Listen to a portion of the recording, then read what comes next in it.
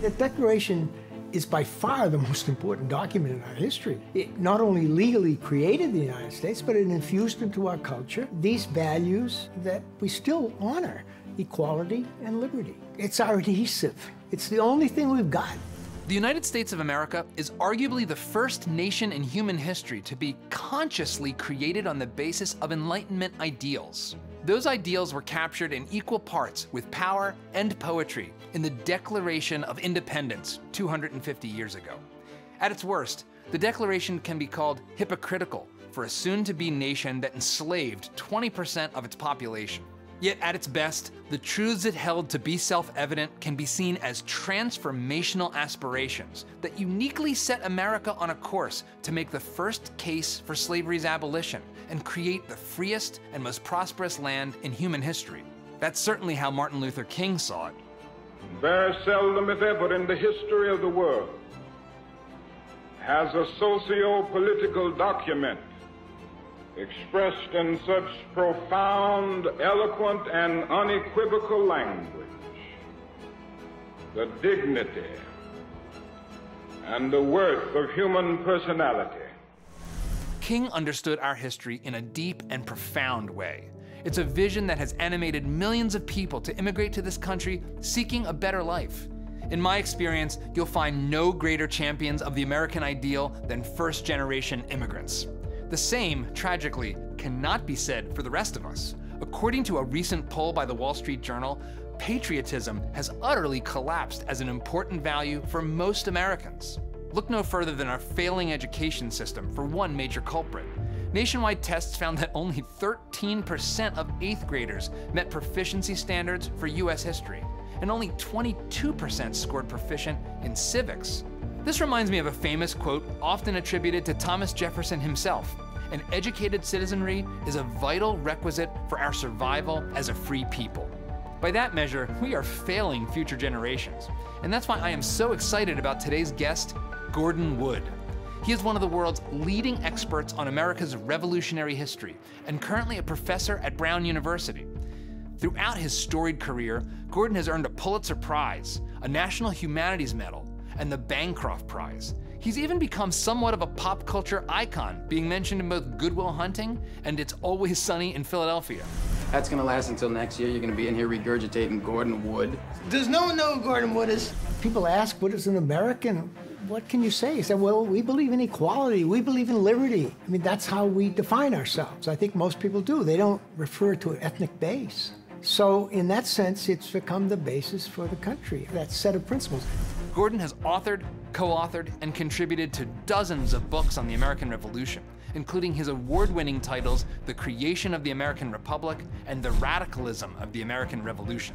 This Independence Day, or any day for that matter, I can think of no better guide to the origin story and enduring legacy of the United States of America than Gordon Wood.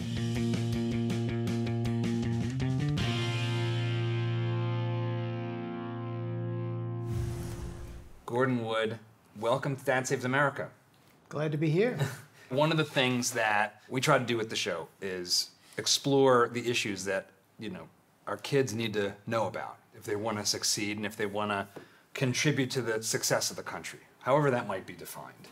And I think that, you know, we're coming up on the 250th anniversary of the Declaration of Independence, and hopefully this conversation will actually go live during the 4th of July. So the Declaration is this, is this moment in American history. It's like a defining moment. At least that's the way we all celebrate it every 4th. And I want to read something that you wrote in your book, uh, The Radicalism of the American Revolution, which we have here, that I think tees off our conversation really, really great. You wrote that the Declaration of Independence was the most powerful manifesto of democratic revolution ever written, and it succeeded beyond the wildest dreams of those who participated in it. So, what did you mean by powerful? Well, influential, and, and how important it became to, to Americans. It, it was not what they thought. The people who wrote it had no idea it would become as important as it, it turned out to be. Jefferson was not really known as the author until probably the, 19, the 1780s. And then in the 90s, it was picked up by uh, the new Republican Party, which he was heading, or one of the leaders of. And then he became aware that it, this was an important document. And if, if John Adams had known how important it would become, he would have written it himself. Interesting. He, he was so jealous of Jefferson, who developed this fame. And it really isn't until 1817, I think, uh, Ezekiel uh, Niles, who was the greatest journalist of the period, wrote an open public letter to Jefferson saying, Mr. Jefferson, we are such a diverse people. Already he thought we were diverse with so many different kinds of people living here. You need to, to make something of the Declaration and, and its principles to hold us together. And, and Jefferson came to realize that the Declaration was, was really his, his claim to fame. Uh, he lists it as number one of his accomplishments on his gravestone. He had three things he listed, not his presidency, uh, but the Declaration of Independence. And, and he, at this point, he writes his son-in-law and says, "Save the desk on which I wrote on which I wrote the Declaration. It's going to become a, a sacred relic." So it took a while for people to realize just how important that was. And of course, the person who made the most of it is Lincoln. Explain. Lincoln is confronted with a nation that's falling apart, and he wants to, he goes back to the founding to justify his antagonism, his opposition to slavery, and he says, "All honor to Mr. Jefferson for the statement that all men are created equal." By this point, equality had taken over the country, and, and Lincoln uses that that word and what it meant to further his position as one of the leading opponents of Southern slavery. But he's the one who, I think, creates the, the aura that we have for these founders. Interesting. so Because it's, in the- you think it's Lincoln that, that Oh, really yeah, because in. everyone- congeals our, our modern sense of the founders. In, in the antebellum period, in the 1830s or 1840s, when people talked about the founders, they meant the 17th century founders. Uh, John Smith, William Bradford, John Winthrop, William Penn. These are the founders, the colonial founders. It's Lincoln who, who really changes the, the meaning of that word founder. And he, he has this wonderful speech with an image that still overawes me, where he says, Those men who wrote the Declaration, and he says men at that point, uh, more than one, the founders, we people today are flesh of, of the flesh and blood of the blood of the men who wrote that Declaration. And it's an extraordinary statement because he, he starts by saying, look, we're a very diverse people. We have these French, we have, we have Irish, we have Swedes, we have Scots and English, all of Yeah. these. How do Diverse from in the context of a European history. Right, exactly. Yeah. He's talking in the 18, late 1850s. Yeah. How do we hold these people together? And it's exactly the same point that Niles had asked Jefferson. We're not a nation like most nations. We don't have an ethnic basis. There's, you know, Yeah, it's not is- a blood and soil country, That's right? right. It's, it's, I mean, it's the not French like, know oh, who the Frenchman is, and the, the English know who an Englishman is. But an American, there's no ethnic basis to that. To be an American is is not to be somebody, but to believe in something. You know. So what do we believe in? Those things that came out of the Declaration. So we're going to touch on a lot of stuff in this conversation, I'm, and, and I'm going to save uh, our conversation about slavery uh, for a little later because it's really important for us to talk about, Sure. especially in the context of all men created equal. It's like Right, it's this right. contradiction right from the start. But I think the other thing I want to ask is, is you know, in this first statement that I, I read, you say that it succeeded. Now, in a sense, it's obvious that it succeeded because the American colonists won the, the war against the British. But in, is, is that sense of success, how else did it succeed? It seems like you meant more than just like we won the war in terms of the success of the Declaration as a document. What does that mean to succeed? It's the basis of our culture, of our, of our nationhood. If people ask, what is an American? What can you say? You say, well, we believe in equality. We believe in liberty. I mean, that's how we define ourselves. I think most people do. They don't, they don't refer to an ethnic base. So in that sense, it's become the basis for the, for the country. I think that set of principles. I mean, the Declaration is by far the most important document in our history, I mean, bar none. I mean, think of it. It not only legally created the United States, but it infused into our culture these values that, that I think we, we still honor equality and liberty. So it's our adhesive. It's the only thing we've got. And no other nation is, is, is like ours in that sense. This is one of the things that I've heard said, and I'm so excited to talk to you because it's like you know you're one of the preeminent historians of the of this time in our in our history. I have heard it said that the country is based on that it's the only modern country that was founded on ideas. And this is a very romantic statement. And and to what extent is that true? Is that is that a fair statement that America? I mean, the French also like to claim that they are an enlightened state and they they don't have any uh, ethnic base, but they do, of course.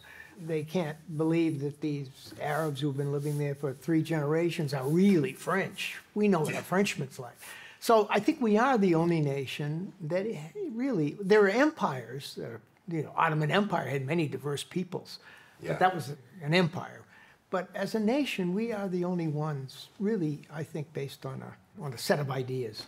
You said of the founders, of the founding fathers who drafted the Declaration of Independence, were radicals who believed that the old order was corrupt and that a new society based on the principles of democracy and freedom was necessary. What, what did you mean by that? When you say radical, what does that word mean? Well, there are degrees, of course. Uh, John Adams wasn't as radical. He's radical in, in that he was wanted to break from Great Britain, but he wasn't as radical as Jefferson was in wanting to change the society. Jefferson had a whole set of reforms. In fact, many of them had reforms. In the states, almost coinciding with, with 1776, even before the Declaration, the, the, states were beginning to move towards reforming in five areas religion, mm-hmm. abolishing the Church of England, setting up some kind of, in most states, there was kind of a collective establishment. Uh, a third was criminal punishment. We didn't have prisons in the colonial period if you committed a crime, you were either executed, you know, lots of capital crimes, 200 on the books in England, uh, or you suffered mutilation. You, you chop off an ear. Old, this is the old. Nose. This is some biblical right, stuff. Yeah, there were no prisons, no penitentiaries. We established the first penitentiary. Uh, Pennsylvania took the lead. That became a reform. Now we don't think about penitentiaries as being reformed, but they were. And, and in Pennsylvania, all the capital crimes were eliminated except for one, for murder. That was really way ahead of anything that was happening. Is that true? So the colonies led the way on that compared the Americans, to, compared to I mean, all of Europe, all of Europe. Oh yeah, yeah, we're wow. way ahead of that. We, we were seen as an enlightened. I mean, people in Europe looked at this experiment. They saw what was happening, and they saw it as an enlightened experiment in bringing enlightened notions to, to law. So let's see, the religion yeah. Is the uh, oh, I mentioned religion, yeah, religion, criminal punishment, and um, the a, a state, the... state, and uh, fourth would have been, uh, of course, anti-slavery. The northern states, the first states in the world where slavery was legally established, to abolish it. Okay, I want to put a pin in that. Yeah, yeah, you want to go back to that Because we will, we can spend this, and I want to spend enough time oh, really to be devoted to I, it. Did I mention so, all five? And I think there's a fifth one, right? Oh, education.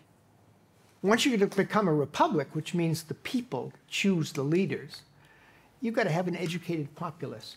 Every one of the founders, it seems, Jefferson certainly, Benjamin Rush, they draw up plans for public education. Jefferson has a three-tiered plan that's very similar. Grammar school, high school, college, all publicly supported. But of course, these things don't get implemented right away, this notion. But the idea is set right from the 1776 on. So you have these people who've been living here in this continent and are reinventing what the what the what it looks like to have a civil society. Like what what are the rules we're going to live by, and they are breaking from the past. They're drawing really on the Enlightenment, but by the end of the 18th century, Western Europe saw itself as full of these ideas flying around from all over, and and the Americans become the first people to really implement. They have a chance to implement them. That's why Jefferson's so excited. I mean, he was very widely read, probably the most widely read person in America at the time. Uh, and, and he, he just was so excited about having the opportunity to implement each of these reforms. Now, he gets frustrated, gets frustrated on, on all of them in some sense. Uh, but he tries in every area though, that I mentioned, those five areas, including anti-slavery. You know, when I realized I was going to have the opportunity to talk to you, the first thing I did was go back and say, well, let me actually just read the Declaration of Independence because, gosh, it's probably been since school that I actually sat down and, and read it. And for most of us, if you went out on the street, I think we'd all be sad by wh- whether or not Right. anyone we, we could find anyone that said, "Oh yeah, I read the Declaration of Yeah. Independence." So I'm gonna I'm gonna read some blocks of it, and I want to talk about some of them. Well, the first two paragraphs people are familiar with, but the rest of it probably not. Well, so it's only 1,337 words long, and there were 56 signers. So, but there's there's all these ideas in this relatively small number of words. So right at the top, and this is a little bit of a block of text, but I want to read it word for word. We'll put it up on the screen. The unanimous declaration of the 13 United States of America, when in the course of human events it becomes necessary for one people to dissolve the political bands which have connected them with another, and to assume among the powers of the earth the separate and equal station to which the laws of nature and of nature's God entitle them. A decent respect to the opinions of mankind requires that they should declare the causes which impel them to the separation. So, my first question about this is Is this the first use of this name, the United States of America? Where does this. Well, they had talked about the United Colonies, but it obviously was not much of a name because it, and they later makes it- wrestled with it. But it's all they could come up with at that point because they really are very separate states. And they say that later in the uh, in the Declaration, as you you get to the end, they read they are 13 independent states with the independent right to do this and that. And this first one, I think, is showing the world, look, we're we're a nation now. We're one people. But to call us one people was quite bold for Jefferson. But he's announcing to the world the powers of the earth. We are going to be an equal to you guys. That's what he's essentially saying in that first paragraph. It seems like he's also setting up to. He's a, a beginning of the justification of this document, right?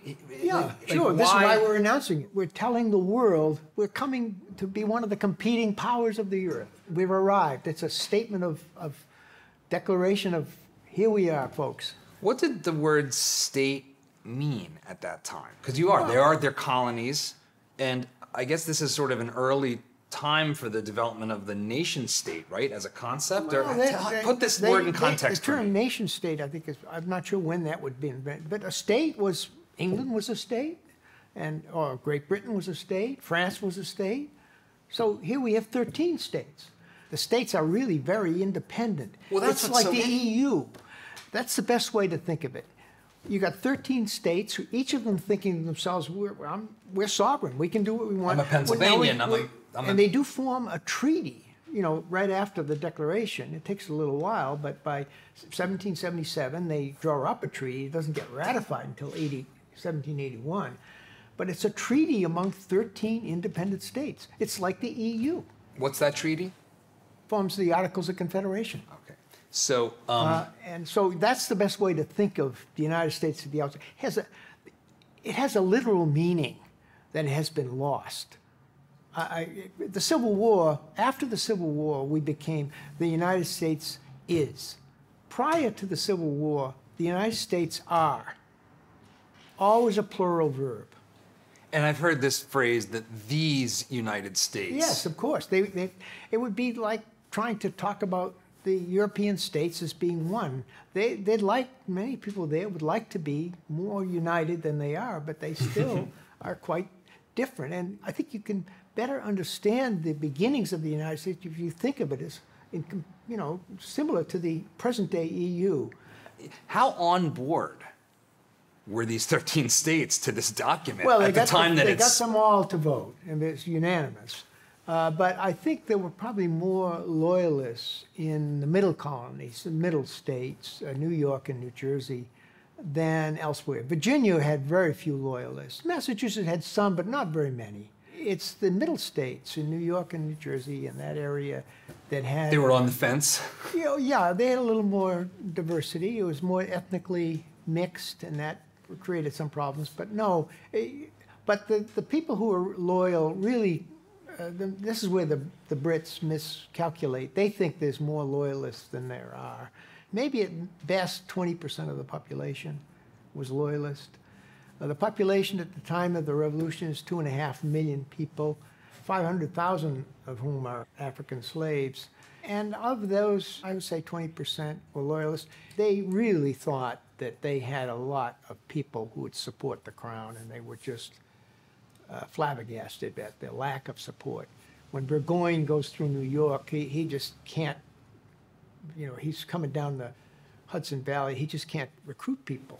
So are you saying that that the king thought that he'd be greeted as liberators? Yeah, you know, well, not quite that, but they thought they were putting down a small group of factious people in Massachusetts. They just miscalculated how much support uh, there was for the, for the cause.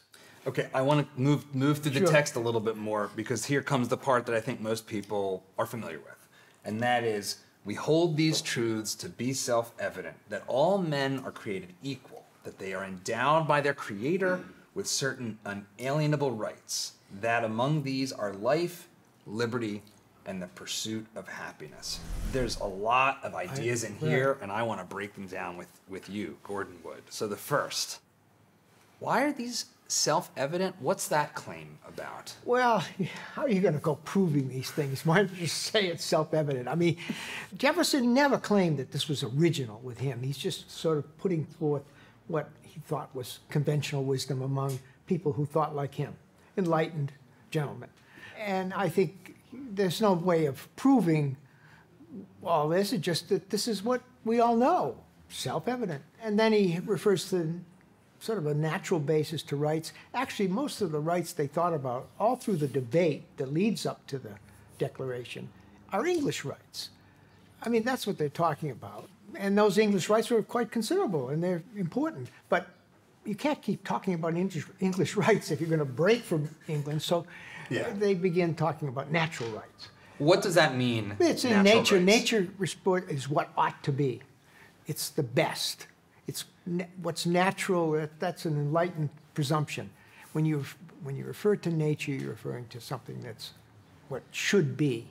I know that this life, liberty, property, what Jefferson has written here rhymes a lot with John Locke. Of so course. is he so so Locke was very important to these so people. help me understand what, was John Locke's fundamental argument that seemed to make have such Locke sway? is a very, very radical thinker of the 18th century. You don't have to have read John Locke to reach the idea that life, liberty, and pursuit of happiness are it.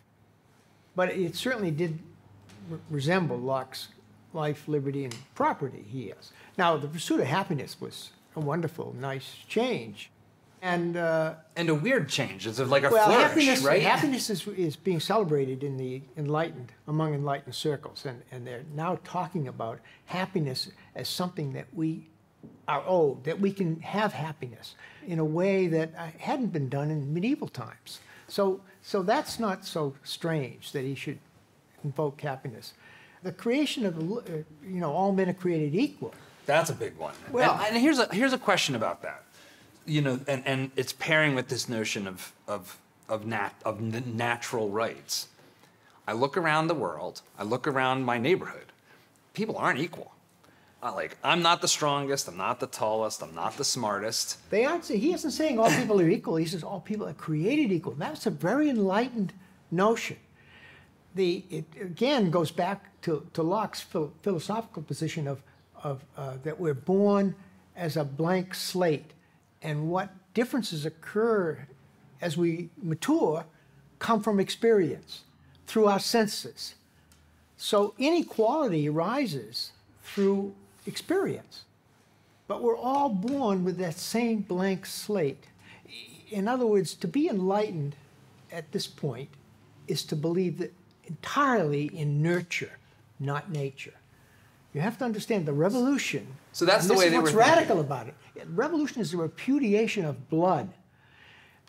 Up to this point, the aristocracies in Europe had always assumed that they were superior because it flowed through their blood. I Yeah, mean, that's the whole highborn. idea of monarchy, after all. And this is a repudiation of that. What matters is what you do with your life. You're born the same as anyone else. They even applied this to, to, to blacks, Africans. Many enlightened people trying to explain why are some people black. Well, they were in Africa, the sun is hot, it scorched their skin. And if brought to a more temperate climate, they would become white over time.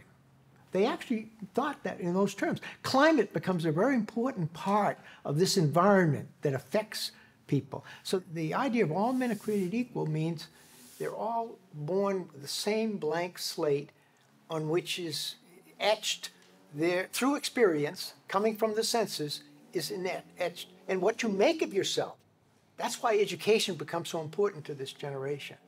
Education wouldn't be important to people who feel, well, you're born, whatever you're born with, you're going to stay the same the rest of your life, anyhow. It's quite a utopian position to take that we're born as blank slates, isn't it? And I mean, and I mean that. I mean that. I guess in a positive sense, it's like looking to That- like that's the perfection of the gist world. Of, of Locke's uh, philosophical works. That's what he says. It's a radical position, but, but, but it seemed to people to be liberating, as you can well imagine. If, if we are all the same, then we can change the environment and then enable people to have a better chance at, at developing.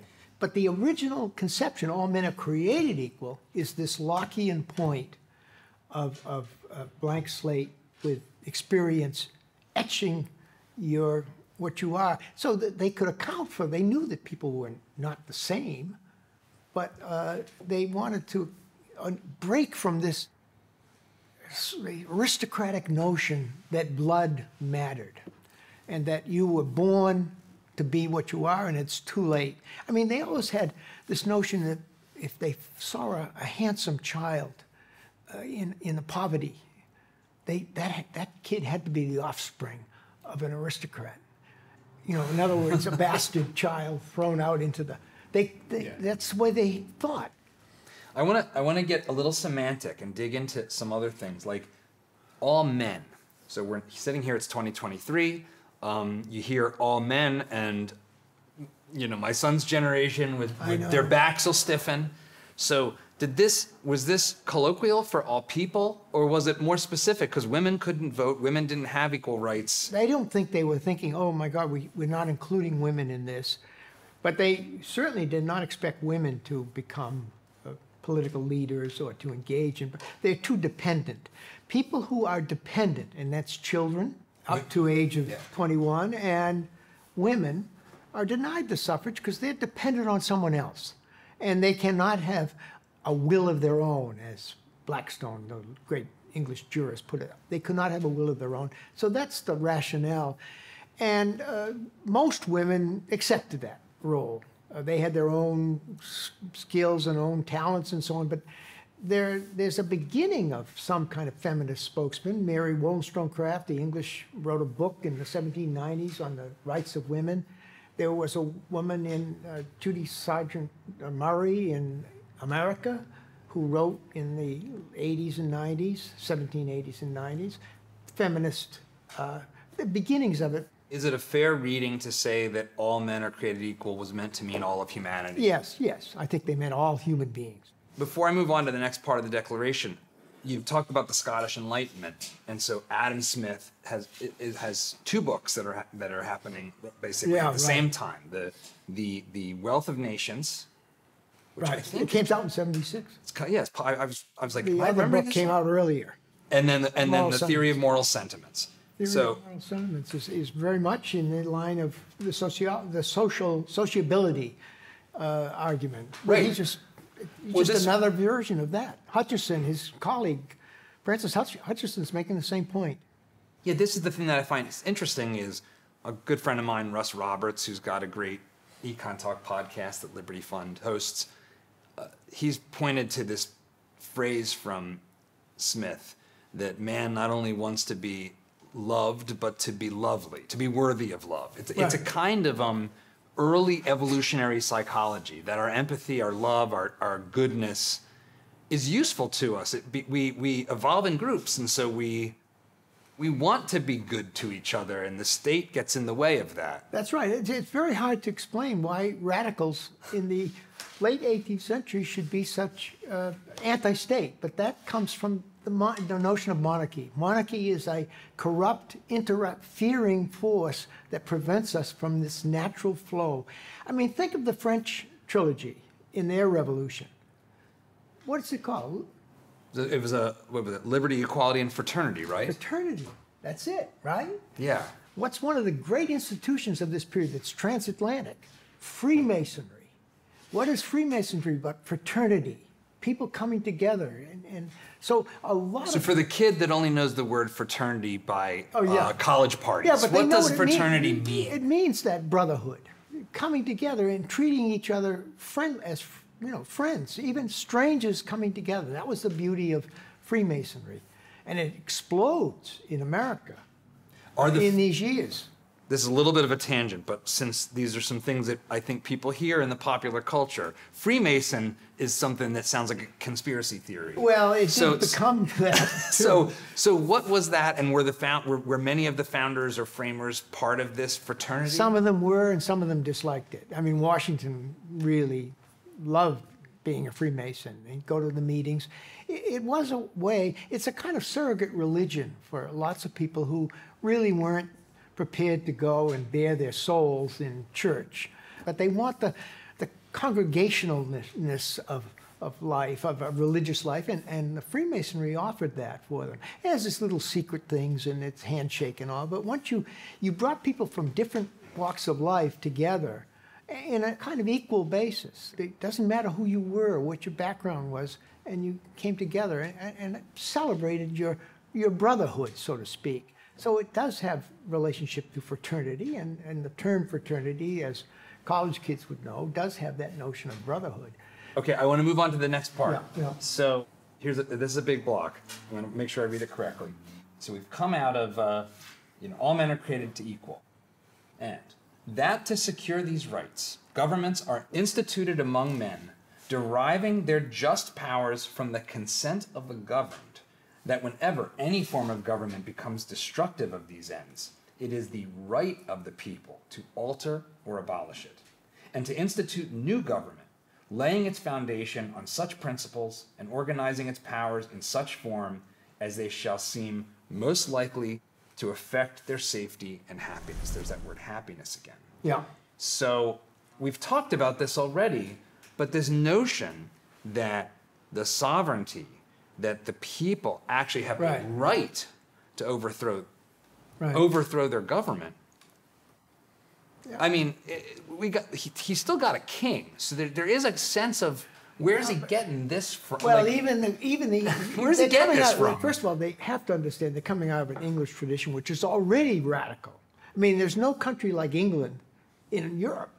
I mean, explain that. well, the English are at the radical edge, if you will, and they are marked as such. I mean, the French see the English as being crazy. They they have they don't have the distinctions that we have, and so on. And the English took great pride uh, you know, as Hogarth prints and so show in, in John Bull uh, and his beer and beef eating. We're a real people and we're, we believe in equality. They would actually talk about they were more equal to each other than the French were. And so Americans are kind of extreme Englishmen, which is what Burke pointed out. We are so libertarian that we snuff tyranny in every breeze. And with the descent of dissidents, I mean, we just were so radical compared to the English. But the English are already radical.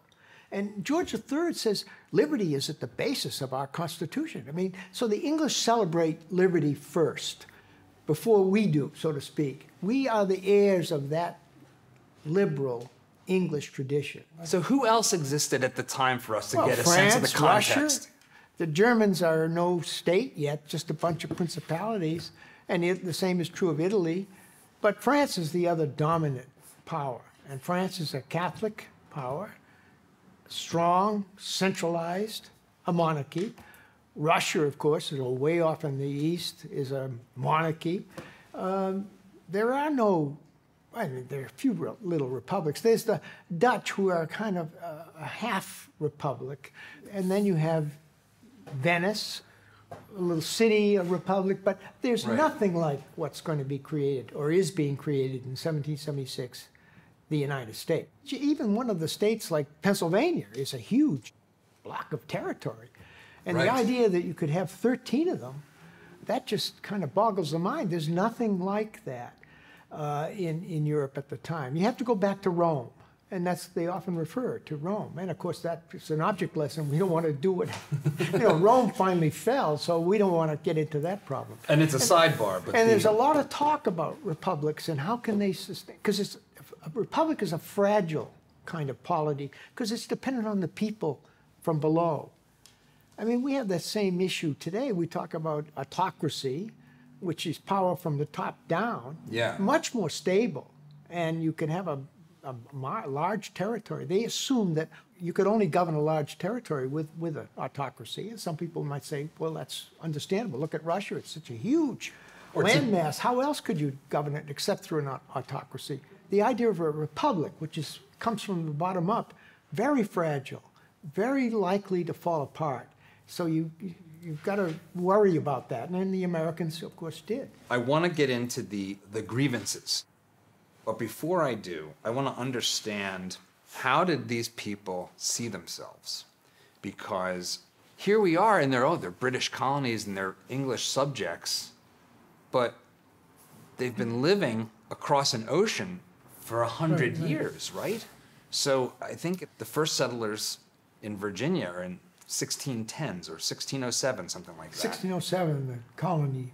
you know, that's 1607. So you're talking about 1776 is almost 170 years later. Right. So generate multiple generations have lived in this continent Right. and built the society that they're living in. now. But by 1776, it was a pretty flourishing place. Were two and a half million people, England and Scotland, eight or nine million. It, it, it, and its birth rate was doubling every 20 years, faster than any place else in the world.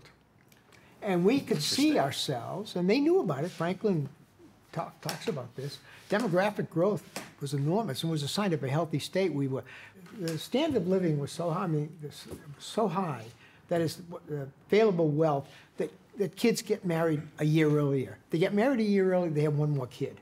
We had the highest, uh, probably, uh, fertility rate, at least to 1800 when it was measured, was seven. That is, the average woman was, women were having seven children. Now, some women didn't have any children, but So others had 14 average- children. So we had a, a fertility rate of seven. And that was just extraordinary. And we were growing so fast that people could anticipate that we would soon overcome Great Britain in size. So eh, there's a sense that we're a strong, flourishing people with real advantages to, to becoming a, a great nation. As we move through the document, I'm, I'm not going to read all the grievances because there's a lot. Uh, there's 27 plus grievances that are listed that come next. And this is this is where we get into the meat This of is okay, Jefferson, though. You not you understand. He wrote a pamphlet, the most radical pamphlet in 1774, called "Summary View of the of the Crisis." It's more radical than anything until Thomas Paine's Common Sense, which came out in January of '76. Jefferson already throws out his grievances against the crown. He, he throws everything but the kitchen sink in there. And to some extent, it's a, a put up thing. I mean, just looking for anything I can. If he hears that there was some North Carolina, some issue in North Carolina with the royal governor, well, I'll, I'll put it in. I mean, the basic issue is, is buried in it the taxation issue. Well, this is what I wanted to ask you about because as I'm reading this, I'm like, "Where's the taxation?" Yeah, right it's you, you gotta wait. You gotta wait almost two thirds of the I way know, down I the know, list. Because Jefferson just, he, what he's just, he tries to throw everything in. In fact, the original draft, he blames George III for slavery in America. You have brought all these people in.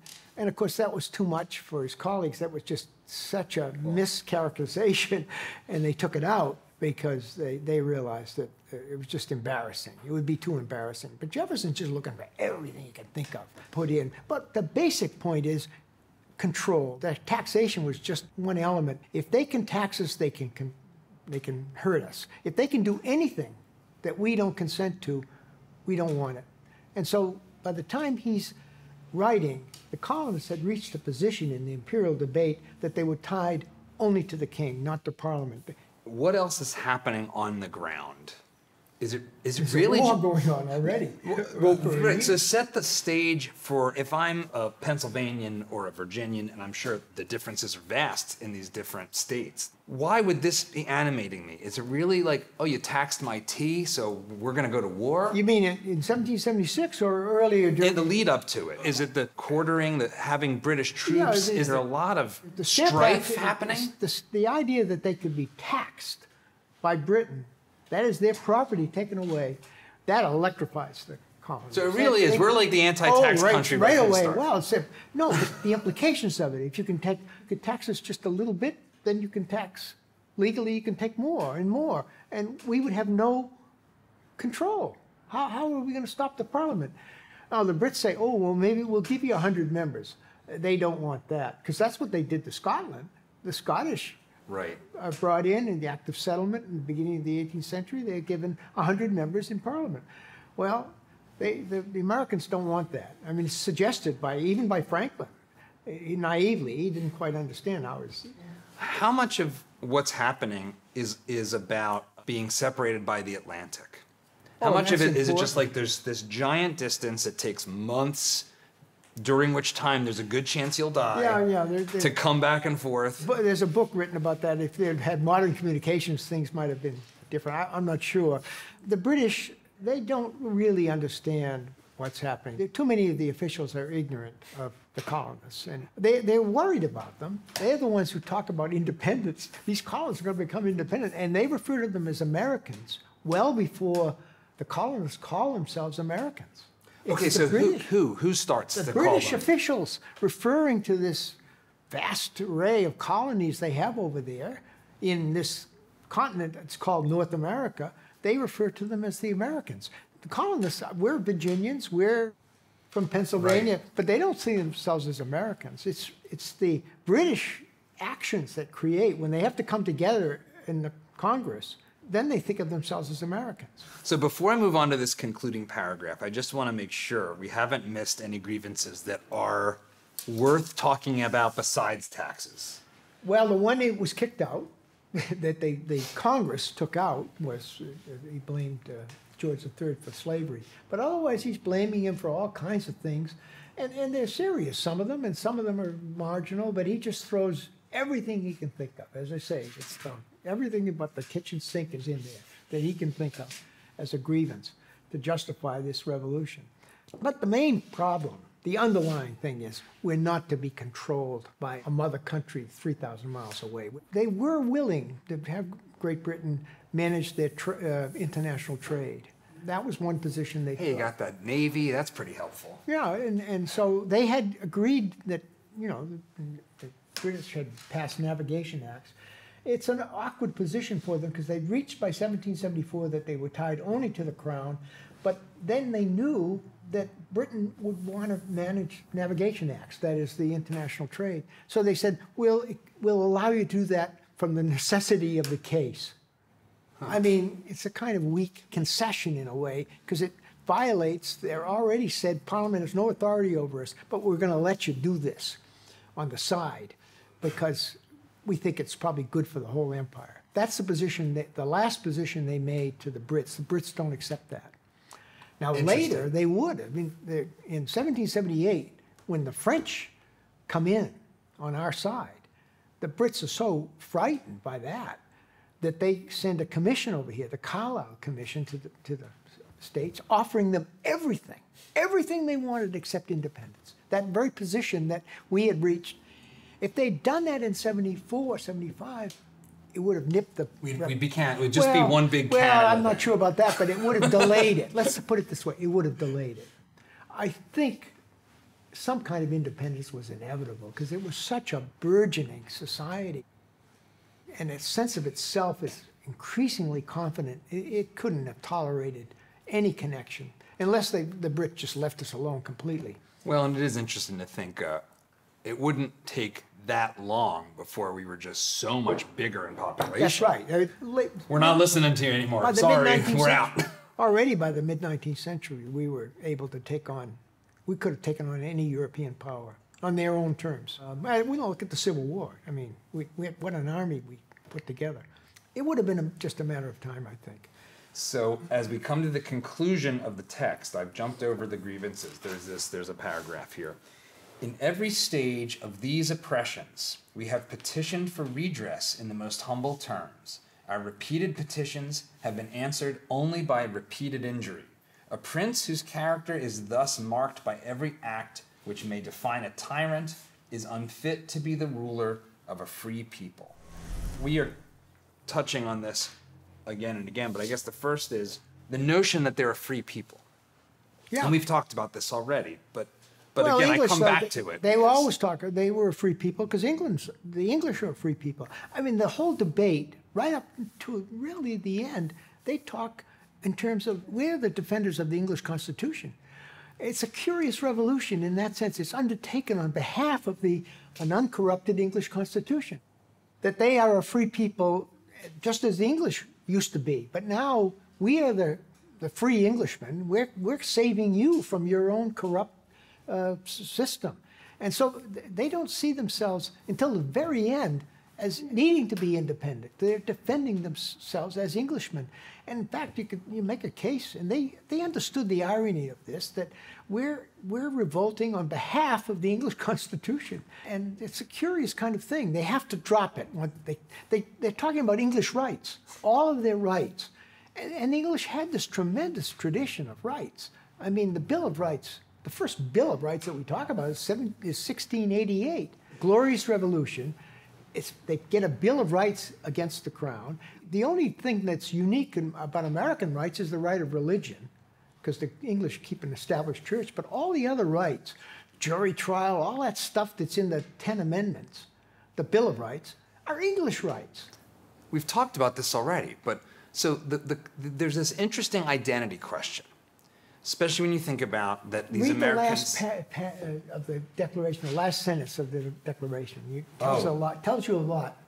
We, therefore, the representatives of the United States of America, in General Congress assembled, appealing to the Supreme Judge of the world for the rectitude of our intentions, do, in the name and by authority of the good people of these colonies, solemnly publish and declare that these united colonies are, and of right ought to be, free and independent states. That they are absolved from all allegiance to the British Crown, and that all political connection between them and the state of Great Britain is and ought to be totally dissolved, and that as free and independent states, they have full power to levy war, conclude peace, contract alliances, establish commerce, and to do all other acts and things which independent states may of right do and for the support of this declaration with a firm reliance on the protection of the divine providence, we mutually pledge to each other our lives, our fortunes, and our sacred honor. to each other. There's no nation that they can appeal to. There's no patria. There's no fatherland. They have themselves. They're appealing to. It's kind of, when you think about it, it's kind of sad. They, they really, they're sort of indenting the nation. There is no nation. There's these 13 states. And, and it's not quite clear that each of those states doesn't have the right to find, form alliances and do these things as independent states could do. It, it's unclear, isn't it? It doesn't say that they collectively have that right. They're saying these 13 states that have the right to form alliances and be, be you know, internationally potent. This is really interesting too when you you know because as you described it, and when we were talking about the concept of the state and this word state, Yeah. Pennsylvania is big. Pennsylvania could be a, a country. Of course. And so could Virginia, and so That's could right. North Carolina and Georgia. These are pla- these can all be countries uh, in, in are- comparison. And they are, you know, like the Commonwealth of Pennsylvania. The com- they three of them, I think, choose the term Commonwealth, which is interesting. Massachusetts, Pennsylvania, and Virginia, to kind of go back to their republic, their ancient republic uh, origins. This is going to bridge into the next part of the conversation really well, which is about slavery. You have 56 signers of the Declaration. how are they chosen? How does it come to be this group of people in particular? Well, they're selected by each state. They were delegates. Each colony had one vote, but they could send delegations of seven or eight or two or three or whatever. So that's how they get in there. The mechanics of this are really interesting because you don't have telephone. I mean, you don't have any means of communication other than sending a letter by horseback, basically, right? Exactly. That'd be the fastest. So, letter by horseback, fast, fastest way to communicate. Vast landmass of these Right. 13 colonies. And yet, they, there's this thing that is referenced in the text called in general Congress. So, what does that mean? What is the General Congress? Well, the Congress that had met, the Continental Congress, as we call it, that's, this was the Second Continental Congress. It began in May of 75 and it was still in existence. And What's they- that word mean, Congress? Because it's Well, not it's not the it's U.S. a House. coming right? together of, of separate states, like the Congress of Vienna, which settled the Napoleonic Wars. It's a collection of, of states. Keep in mind, these are independent states. Look, more people, those people who met, more of them had been to London than had been to Philadelphia. That what That tells you unifies something about what unifies them all Right. is I their mean- is their Englishness, their Britishness. Right, right. But they were suspicious of each other. I mean, Adams wonders about these Southern slaveholders. What are they going to be like? Are they a bunch of aristocrats that uh, I would not like? You know, he's he's pleased by it because they're very radical. It's Massachusetts and Virginia that are the most radical colonies. The two of them really bring it about. I mean, they take the lead. So this moves us into uh, this question of slavery, Right. And this weird, the weirdness of this from a modern context. Of course. So here you have this declaration, and you just brought up Massachusetts. So I want to just read read something, a, a couple things I, I gathered. So one was that John Adams, you know, in Massachusetts, had called slavery a foul contagion in the human character and an evil of colossal magnitude. This is one of our founding fathers. And yet, you know, the Declaration calls all men are created equal, but some of them own slaves. You know, pre, you know, obviously Thomas Jefferson. You've alluded to this earlier that an early draft of the Declaration actually had an Right. argument. But blaming George III for slavery. My understanding of the passage was basically he's saying, look, you are trying, you're now, as part of your shenanigans, trying to stoke a slave revolt. that certainly goes back to the Virginia governor in November of 1775 uh, issues a proclamation offering freedom to any slave who will escape from his plantation and come to the crown. He's sitting on a ship in Chesapeake Bay. Hannah Jones, in collaboration with another historian, ha- has made a lot of this. This is what really creates the, the revolution in Virginia. This is November of 75. The reason that governor is sitting on a ship in Chesapeake Bay is because the Patriots have taken over the government completely. The revolution is over in, in, in that sense in Virginia. So this is not the stir, stirring it up. 300 slaves do run to the crown. They don't get quite what they expected. Some of them end up, I think, being sold to the West Indies. But nonetheless, they, there are 300 who come. But that's not, the, that's hardly the cause of the revolution. Britain wasn't planning to free the slaves. On the contrary, it's, it's Americans with the Declaration of Independence, with this independence, that free the slaves in the northern states. Every northern state immediately begins moving against slavery, including Virginia, even though Virginia has a real problem because 40% of its population is enslaved. Now, in the northern states, there's nothing like that. Maybe 12% in New York, 14%, I think, in New York City. I think my own state of Rhode Island had maybe even as many as 12%, but Massachusetts had 3%, tiny amounts, but nonetheless, it's a legally established institution in all these states, and they all move against it under the impact of the revolution. We have to understand that for thousands of years, slavery existed in the, in the world without substantial criticism. None. In fact, even in the 18th century, you have voices here and there. There was Samuel Sewall in 1700, he voiced a Puritan. Uh, there's some Quakers, but there's no movement. There's no development. The Revolution, the American Revolution, for the first time in history, history makes slavery a problem Now, it- for Western culture. this is so important for the generations to come to understand based on what's happening in our culture Right. today. Right. Because to lose this is to is to lose something so fundamental about what I believe is the miracle of the country. Right. So I want to really parse this and Well, understand it. Again, I I am not a historian. I have Google though, which should mean which means that like more people should know these things than they do because Well, just all have Google in think our of, pocket. Think of it, if slavery's always existed, all of a sudden, here's the, what, eight states abolish it. Now, it, it, So that's by so- 1804, it takes some years because some places they, there was a fight. But even in Virginia, Jefferson introduces a bill even before the Revolution, 1767, to, to abolish slavery in So- Virginia. He is the Enlightenment personified. He wants to do everything that's enlightened. I mean, this is why he he has he draws up uh, bills having to do with with criminal punishment. He does. He's religious. His his bill for religious freedom is 1779 is extraordinary. I mean, nothing like it in the history of the world. Separation of church and state. There's no no state in the world that's even thinking like that. We're going to have no state involvement with religion.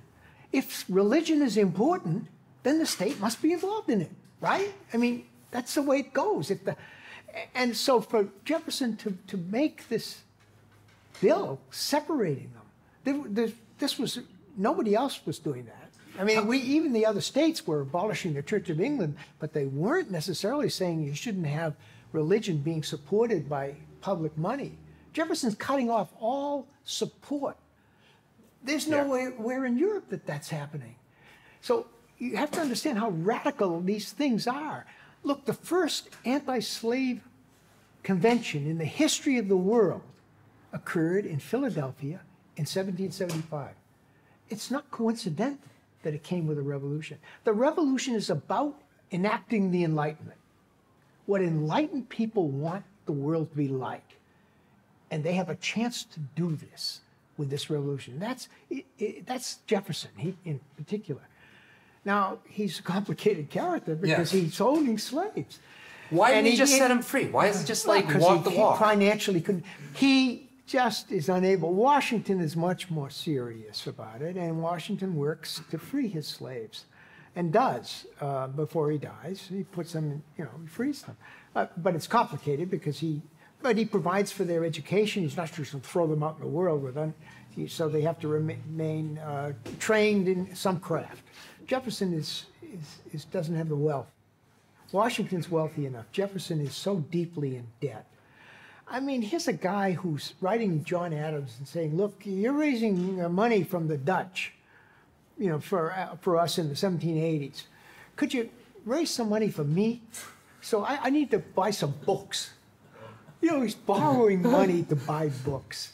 And what kind of a, you know, he's just It doesn't absolve him, but no, it doesn't. But and I say that not because I'm modern, but just because he he, he, he, he clearly understood that this is a He, problem. he knew it was wrong. But important point to realize that almost every one of these leaders realizes that slavery is wrong. Patrick Henry voices it. He says, "I know it's wrong. I shouldn't." This is 17. Why? He- Why does this group of people come together they in know this that country enlightened now? people are telling them that slavery is one of those things that has to be eliminated. Like you have to reform criminal punishment. You have to get rid of established churches. They're being told these. We know what that is. When I- people come in and tell you what's what's the enlightened thing to do, that's what they're being told. And so Henry knows that, and he says, "I know I should do something. I just can't live without him. I I, I need him." That's he comes to that kind of. it- It's kind of sad. It's sad. There are people, of course, in South Carolina and Georgia who are saying, even the leaders, who are saying, no, we, we're going to keep it. We need it. I mean, they know the source of their wealth. And then, of course, there are Right. ordinary people who are saying, hey, don't cut it out just before we haven't had a chance to get slaves yet. There's a large numbers of people at the second, third levels who want to keep slavery. But we're talking about the enlightened elite almost uniformly, with exception of the Deep South, are willing to try it. In, in, in Virginia, you have a lot of man, they passed a new manumissions law making it easier to free slaves.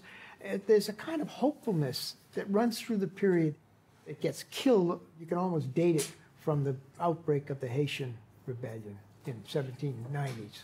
You wrote in your book, The Creation of the American Republic, quote, the Constitution was a compromise on the issue of slavery, recognizing its existence, but also laying out the groundwork for its eventual abolition.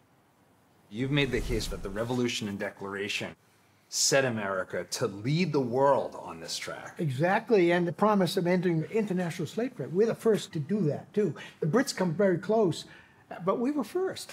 And uh, the promise is there, and the, and the southern states say, oh, give us 20 years more. And uh, otherwise, we would have done it right away. So- this international slave. See, the Virginians don't need slaves. That's one of the reasons why Virginia uh, is willing to, to take the lead on this. Which area was more wealthy, the North or the South? north. When Tocqueville comes and he goes to the Ohio River and he compares Ohio with Kentucky, which is a slave, has slavery, uh, there's no, he just, it's clear that Ohio is a flourishing place. And, and Jefferson knows this too. His uh, daughter marries a, a, a New Englander and he goes up there and she writes him what a place this is you know and he knows something. He's been to new england briefly. He knows he has a kind of new england complex. That's where he talks about the ward system and he loved those little towns and he just wishes he just wishes he yearns that virginia could be like new england without slaves with these flourishing villages there's just no doubt of it that the north is really booming it is and there's just no doubt when the war occurred there's the North was going to win. But Yeah. you can see the North is definitely well in terms of wealth, and there's no comparison. when I was going to film school, this movie came out with these young hotshots uh, of Holly of, of who would soon be titans of Hollywood. It was called Good Will Hunting. Oh yeah. And in this movie, a young Turk, uh, sort of a brilliant guy, is Matt you know, Damon's Matt character. Damon's character. You know, he talks about, oh yeah, I read Gordon Wood, and then he references Howard Zinn as the sort of contra to Gordon Wood. Zinn was a friend of the family. Of your family? No. Oh, of his Damon's family. Yeah, yeah. They grew up near, near each other, and so he, he makes Zinn the, the ultimate hero. Uh, yeah, no. I've heard folks who are very sort of, um, I'd say like right of center politically, but are also like really into the Constitution, who demonize Zinn and his people's history of the United States. I, I am always leery of these sorts of things when I don't understand it, but help me understand what what is we were just talking about history. an old-fashioned Marxist, and he he simply his history became quite popular Yeah. and used in high schools, I guess, all, all over the country. the people's history. the people's history. And he, he ref- referenced every kind of revolt from below, every strike, everything. And it was always an economic kind of exploitation being persistent. Was it good history? I, I, I can't confess that I've read the book. I dipped into it. I know it. And it's not wrong in the sense that each one of those episodes occurred. It's a question of whether, is that the story, the full story? That we, we've just been a, a, a bunch of, you know, if you're, uh, I suppose, a devout Marxist, then capitalism is, is a series of, of evils that have occurred. But I don't think that's a, a full story. It come, you come away with thinking America must be a terrible place, all this exploitation, and you've got to see the whole, and I don't think that he does. I'm navigating the world as a citizen, and I, I am told a story, a historical story. How sh- where should I? Where, what should my starting point be? It's hard to know. At some point, you're going to have, to, if you really want to know, you have to read a, enough history so that you get a more balanced view. Uh, that's the only solution I could think of. But it's very difficult, especially in the modern world with the media. So all kinds of stories will fly around. And the main thing is you want to understand how did we? You start with a very different world, a foreign country back there. Yeah. Different. How did they get to be us? And that's that's the movement. That's the the theme you want to have. uh, and it- involves a lot of things, including a civil war uh, that was fought on, on, on, on the issue of slavery. Um, it's a very, we have a, an extraordinary rich history. We're in very difficult times, it feels like. But I feel like everybody's had difficult times, you know. Uh, and yet I think that there's something happening right now, and we were talking about it before the camera started to roll, just about the institutions. We have this constitution that has set up these institutions. And I worry about how these will persist and you know can the america that works continue to work inside of this framework that the founding documents have set up for yeah. us how do you think about this as we come up on the 250th anniversary of the declaration of independence how how much optimism do you have that we've got another 250 in us Well, I, you know, we've had difficult times in the past, including a civil war. What's different, which really uh, scares me, is, is the lack of confidence in the, in the country's future uh, among elites. They, they don't seem confident. I mean, that just is new. Americans went through the Civil War. They went through all kinds of changes that took place. In, in, uh, you know, 100 years ago, there was this tremendous crisis over immigration, but there was an underlying confidence that the country would be great. We could handle it. It, it just, that's what's lacking, I think, this confidence. And that's not easily reversed.